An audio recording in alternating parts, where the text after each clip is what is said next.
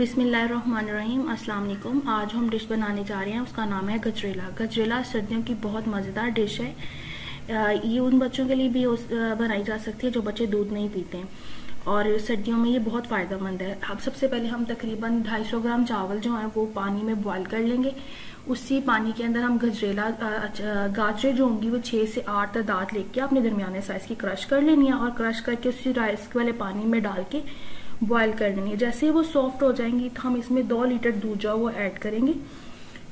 Litre अगर आप दूध जो है वो बॉक्स का नहीं इस्तेमाल करें तो आप लूज फॉर्म में कर रहे हैं तो आप दो से तीन लीटर भी कर सकते हैं, क्योंकि जो लूज फॉर्म में जो दूध होता है, वो इतना थिक नहीं होता।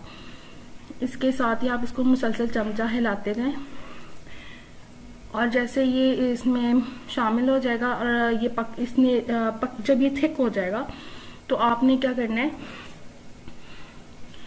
इसको मुसलसल चमचा हिलाते जाना है और जब ये आ, इसे पकने की निशानी ये होगी कि ये बबल्स इसके ऊपर भरना स्टार्ट हो जाएँगे।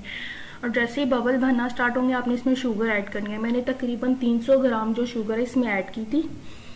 अगर आपको शुगर कम पसंद है तो आप कम भी डाल सकते हैं। अगर ज़्यादा पसंद है तो आप ज़्यादा भी ऐड कर सकते हैं। और इसमें ड्राई फ्रूट्स भी इस, इस इसी यानी कि पोजीशन में आप ड्राई फ्रूट भी डाल दें।